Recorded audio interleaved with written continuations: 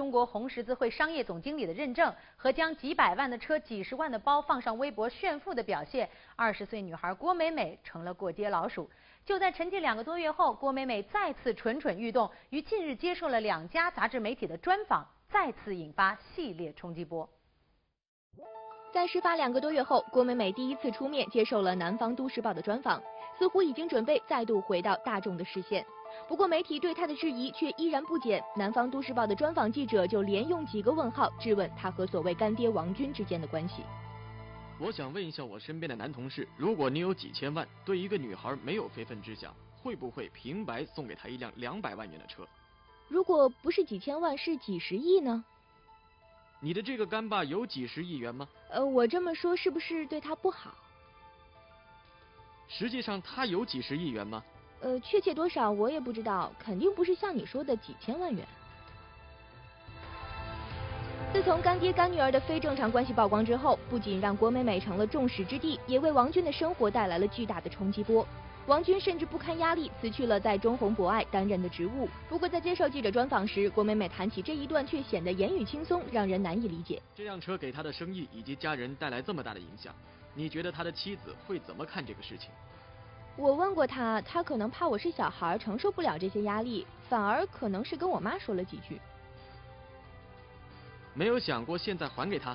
呃，想过他不要，他说送都送了，不要了。因为这个风波，我们也不再联系，感觉多少产生了微妙的变化了。我不好意思接他电话了，会下意识抗拒这个人，会觉得怪怪的。而对于自己在微博认证上给出的红十字会商业总经理的头衔，郭美美再次宣称是自己一时贪玩而铸成大错，因此她还自贬是白痴。不过即使如此，这样的辩白依然显得荒谬无力。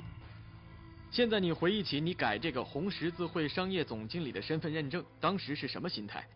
当时是四月份的一个下午，我闲着没事儿就看关注的好友的微博，他们的资料都是总裁、总经理，但是我知道有几个并不是。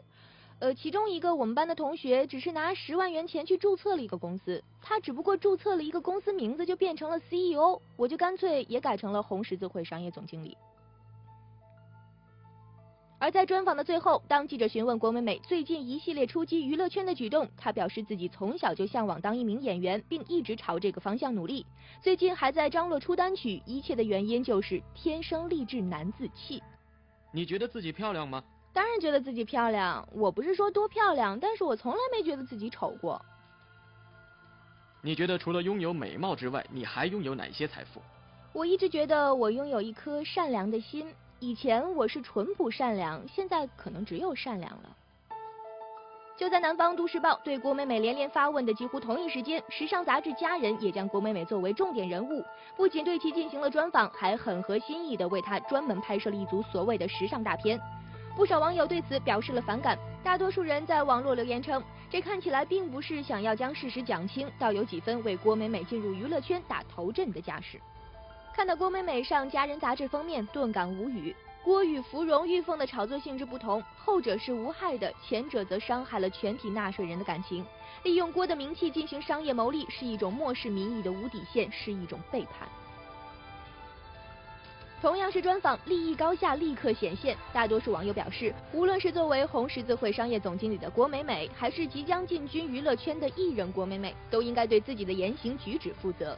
在她深刻检讨自己的错误之前，大众是不会轻易接受的，而她的所作所为也不会因为换了身份就能让人彻底忘记。新娱乐在线。